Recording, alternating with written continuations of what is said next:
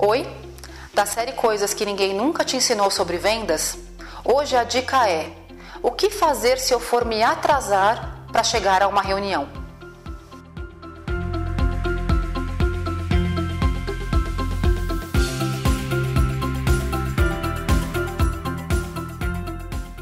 Atrasos para reuniões são realmente terríveis.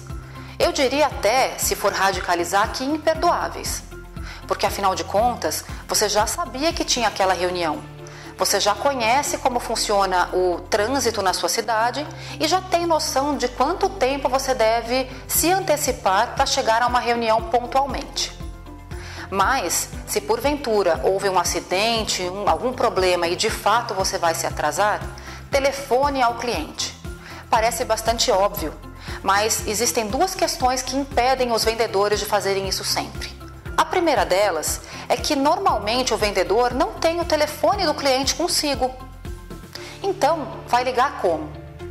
Aí o vendedor vai tentar acessar o site da empresa, vai procurar um telefone, vai achar a secretária, vai virar aquela confusão.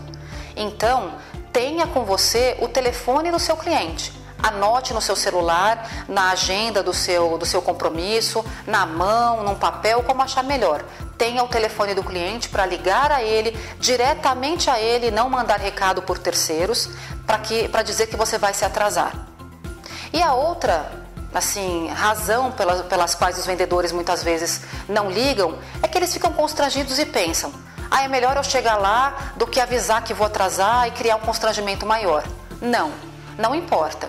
Mesmo que você ligue em cima da hora, é respeito informar o cliente que você vai atrasar.